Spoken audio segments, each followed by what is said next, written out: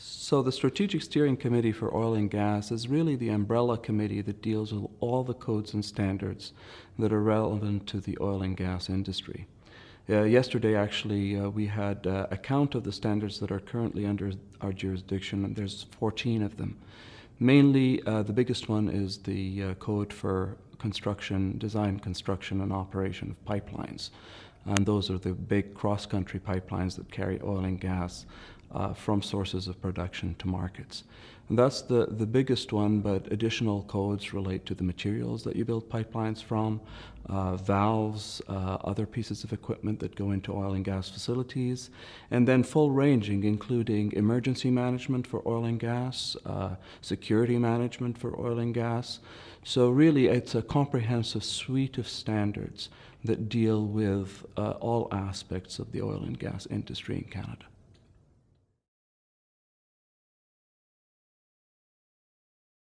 Well, we strive for safety. That is the key aspect of all the work that we do, uh, ensuring that our business is conducted in a manner that makes protection of the environment and safety of the public paramount. That's why we have uh, standards for how to build pipelines in accordance with world class standards and taking into consideration some of the very unique characteristics of the Canadian environment, freezing, Arctic environment, and so forth. Uh, we also uh, look at uh, other aspects of uh, uh, protection of safety in the public, for example, the emergency management code. So if there's an oil and gas uh, emergency, how can people react in such a way so that if any damage occurs, it is minimized and again paramount protection of safety in the public. And one of the unique things about a CSA uh, process, it is a consensus-based process. So it brings together the regulators, the pipeline operators or oil and gas facility operators, and it brings together members of general interest suppliers and, and all those people that have a stake in a sound industry.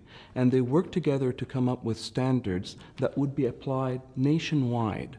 So that way, it doesn't matter whether you're under provincial jurisdiction, federal jurisdiction, anywhere in Canada, you would apply a set of standards and guidelines that are really world class and ensure that the pipelines are efficient and sound, but paramount the protection of safety of the public and protection of the environment.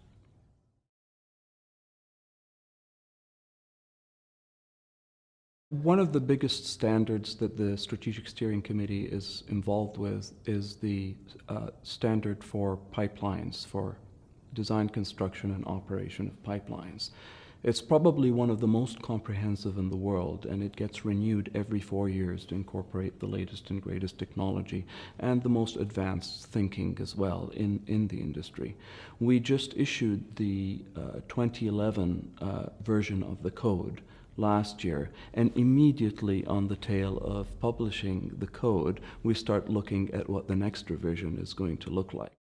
Another one, which is a contrast, is a code that we're just starting up and that is the Emergency Management for Oil and Gas Code. And we have been discussing and trying to get that code off, off the ground, and we just started developing it recently. That code is going to be tremendous because Currently, we have uh, a number of regulations, provincial and federal, as well as municipal, and as well as company internal practices that apply when an emergency takes place in the oil and gas industry.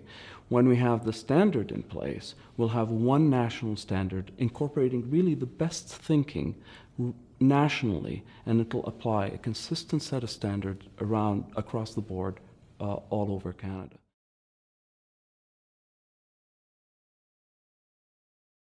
Fundamentally the stakeholder that for, for the code is the people that actually practice the engineering and design construction operation of pipelines. We have a tremendous responsibility to do that in a sound way so that workers are protected and the public of course is protected.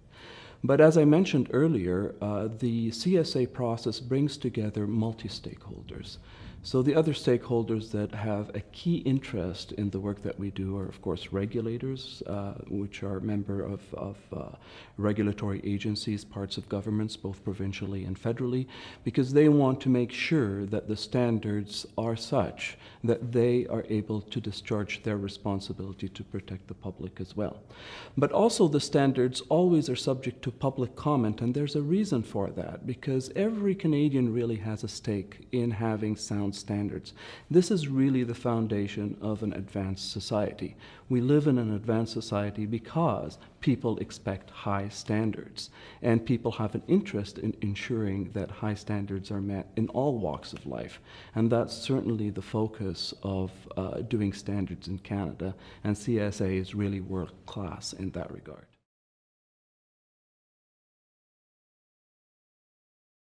We have ultimately a world class level uh, uh, performance as far as the Canadian pipelines are concerned, and some of those are 50, 60 years old, and yet still they operate at a world class level because we are able to maintain them, and standards play a key role in that.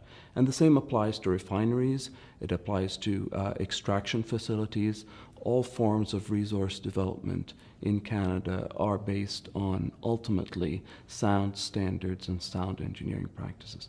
That's how we make a difference to Canadians.